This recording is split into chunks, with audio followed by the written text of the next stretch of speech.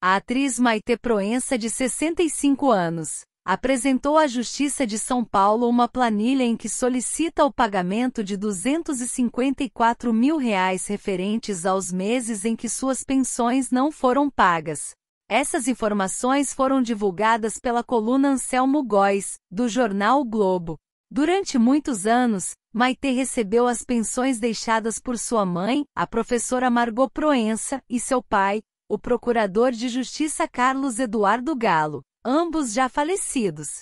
No entanto, em 2010, o governo de São Paulo suspendeu o benefício, alegando que a atriz estava em uma união estável com o empresário Paulo Marinho, o que a tornava inelegível para receber a pensão como filha solteira de um funcionário público. Na época da suspensão, o jornal Folha de São Paulo chegou a informar que Maite recebia cerca de 13 mil reais mensais em benefícios. Após a suspensão, a defesa da atriz recorreu da decisão, argumentando que os pais da artista pagaram impostos, deduzidos de seus salários, para garantir que ela recebesse a pensão. Após anos de disputa judicial, o governo do estado reconheceu o direito de Maite à pensão de seus pais e agora, a atriz está cobrando os valores que lhe são devidos.